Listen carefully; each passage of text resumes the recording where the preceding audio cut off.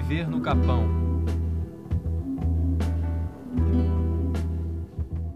A Chapada Diamantina é composta por diversos municípios, entre eles Lençóis, Andaraí, Mucugê, Rio de Contas, Ibicoara e Palmeiras. Este último, mais precisamente o seu distrito de Caeté-Açu ou Vale do Capão, é o cenário deste rádio documentário, que foi à procura de histórias e motivos que levam ex-moradores de grandes cidades a viverem ali. Segundo o último censo, o Vale do Capão tem hoje pouco mais de 1.200 habitantes.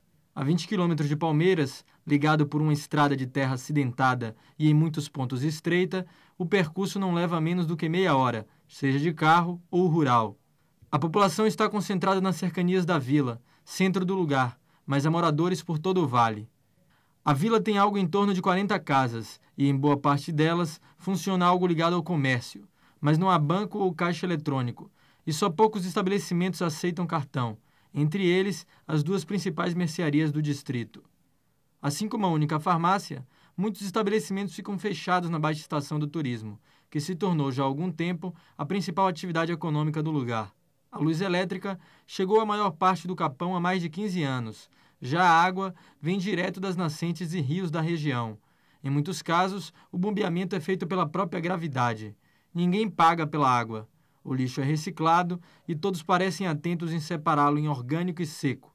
Um dos limites de acesso ao Parque Nacional da Chapada Diamantina, o Vale do Capão não se caracteriza como uma típica cidade do interior, mas tampouco sua identidade se define apenas por suas paisagens. Maria Medrado, socióloga, 28 anos, há quatro vivendo no Vale, explica. Tem as paisagens, que é um fator relevante sim, que isso termina te prendendo no espaço.